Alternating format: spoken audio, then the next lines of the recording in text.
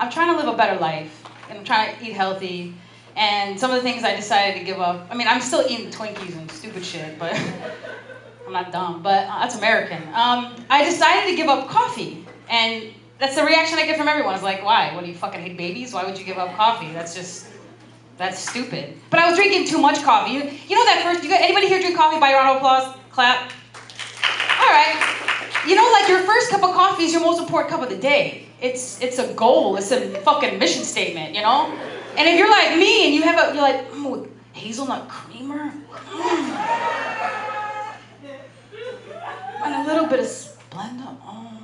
Like, my first cup of coffee was becoming my, like 10th cup of coffee. I was drinking way too much coffee. So I decided on my birthday, I'm gonna give it up, I'm gonna go clean.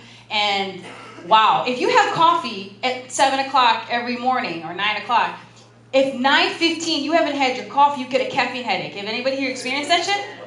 And so for me, by noon o'clock in the afternoon, I was like feeling like a fucking junkie. I'm like, uh, oh man, yo, uh, is that is that old coffee with a cigarette? Mm, kidding. Oh, listen, I just sucked a dick for an espresso shot, all right?